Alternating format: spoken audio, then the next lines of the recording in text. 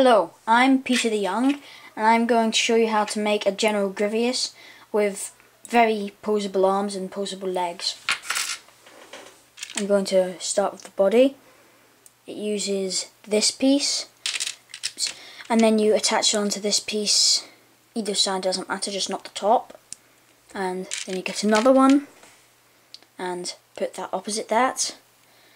And then you go to the side with no knob and put this piece there. And then you put these pieces that came with the Lego Technic dinosaurs and things like that on the other side pointing down.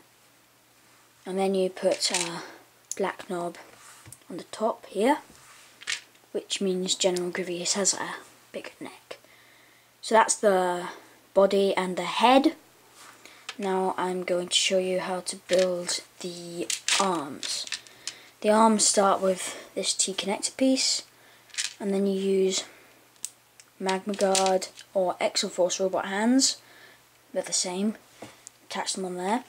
Then use Magma Guard or Exoforce robot arms, again they're the same, attach them like that. Then other hands, if you don't have these colours it's okay. And that is two of the arms and you do the same thing again for the other two arms. If you have any add-ons to this you can post them on YouTube as a reply or you can write them on the comment board. I will try and check as much as possible. I'm not that... Oops, no, that's not go on yet.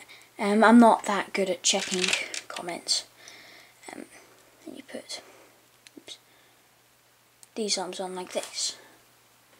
Now all he needs is his legs, which you again use the T-connector piece, and then put one of General Grievous's older arms on, and then attach some taps. Well, I use these as taps anyway, and then attach these pieces on. Preferably white, they don't have to be.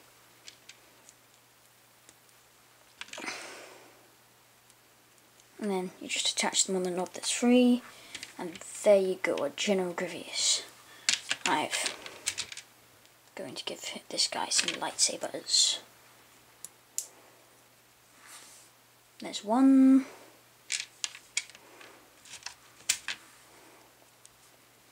I wish I could do this with no hands, you know. Hands are a nuisance when doing these kind of YouTube videos. Means you can't see things as well.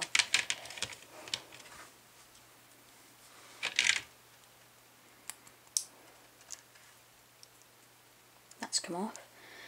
And here we go, a easily posable General Grievous.